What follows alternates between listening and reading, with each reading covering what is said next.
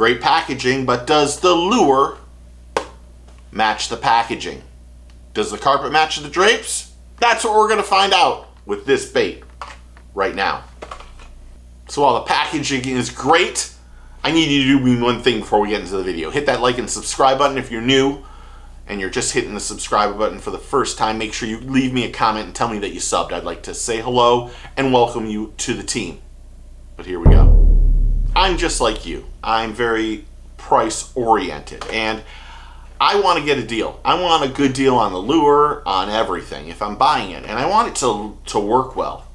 So today we're going to take one bait that you can get on Amazon, highly highly recommended, one of the bigger baits, and we're going to put it against the Molix. Both the same size, about the same weight. I think they are exactly the same weight, but I think you'd be surprised. One, one you can get for probably 20 bucks versus I think this might be 28 or 29 dollars. But we're going to look at the action. We're going to see why this bait is less expensive than the Molix. And really we're going to look at if it's worth buying this Amazon Glide bait versus 8 or 9 or 10 dollars versus the Molix. It's this is our budget series and today it's all about bluegill glide baits. So that's what you get. A 5 inch, 2 and a quarter ounce bluegill glide bait that is one jointed hard plastic. The joints are pretty good to tell you the truth. I don't really like that right there, but they it if you can see it bends pretty well. But the whole thing is solid plastic. It doesn't have the you know swivels in the where the, the treble hooks are, but it does have good treble hooks. That's what it looks like. It doesn't have a really good profile coming at you, but as you can see, it has pretty good, it can wobble fairly decent in the back there. Well, let's keep it real. Lure prices have just skyrocketed recently. Some some places are up 20, 25% because getting stuff in from China is really tough. But does can that bait from Amazon make me want to stop going to my favorite place, Tackle Warehouse, and buying something a little bit more expensive that might be better. And since we're doing a side-by-side -side comparison of a lesser expensive one that was about 20 bucks, $22 versus the Molix that really looks like a real bluegill, which was $26. And when you think $6 and shipping and all that other stuff, the differences are drastic. They're both about the same size, both use really good hooks, both have good action and, and give you that opportunity to have great action, but the, it's the subtle differences that make this bait different. Starting off with the line tie or where you're tying off. That bait seems to glide better in on the Molix because of where that point is. I think this is too high and it makes it want to do this.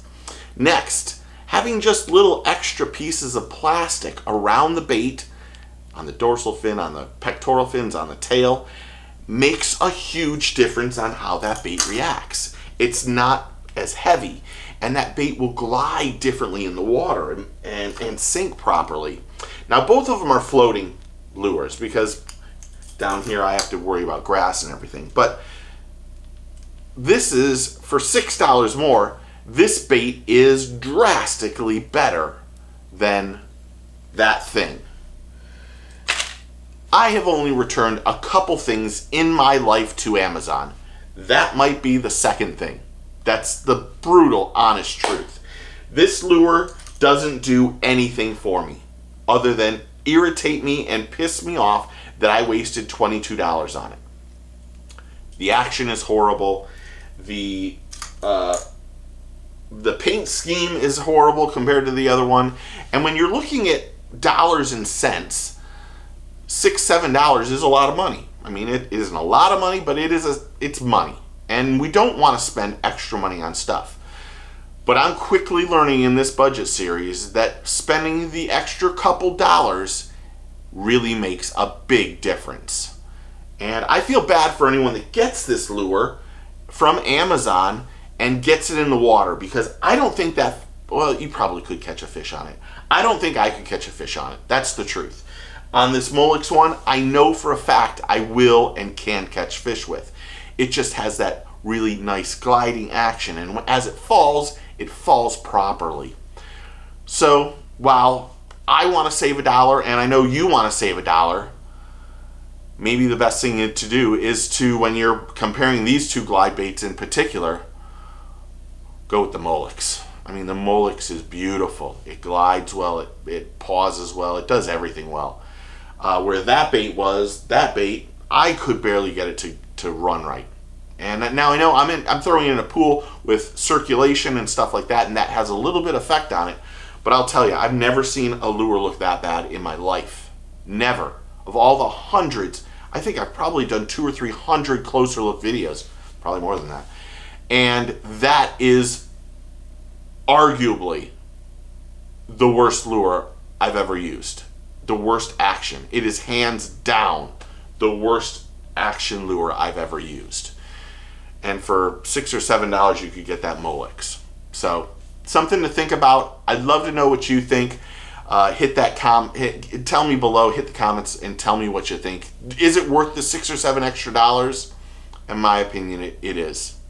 Thanks for hitting that like and subscribe button. Make sure you comment below and tell me what you think. Remember, take a kid fishing. Get yourself a Molix. We'll see y'all soon. Cheers.